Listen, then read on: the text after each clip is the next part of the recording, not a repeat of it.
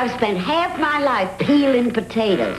Now, Ore-Ida's come out with new home-style potatoes. And you know, they left the doggone skins on. Why, these new Ore-Ida home-style potatoes come as chunky wedges, hearty thins, and big planks. Hmm. I always knew skins added extra flavor.